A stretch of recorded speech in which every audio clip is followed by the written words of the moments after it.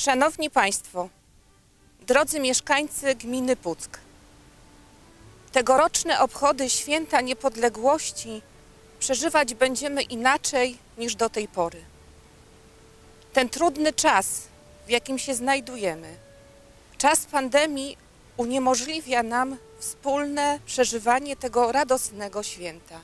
Niemniej zapraszamy Państwa do przybywania tutaj do zdrady, miejsca urodzenia Antoniego Abrahama, indywidualnie, o różnej porze dnia i w różnych godzinach, z zachowaniem wszelkich norm bezpieczeństwa.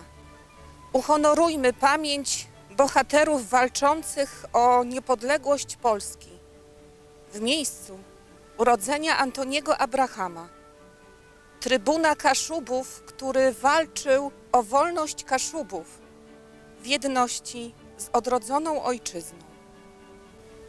Niech z naszych serc popłynie radość ze świętowania Dnia Niepodległości. Niech z tych serc i z naszych domów również o godzinie 12, 11 listopada popłynie melodia Mazurka Dąbrowskiego. Włączmy się we wspólną akcję śpiewania hymnu dla niepodległej. Niepodległa do hymnu. Nieważne, drodzy Państwo, czy z domów, czy z miejsc, z których będziemy w danym momencie przebywać.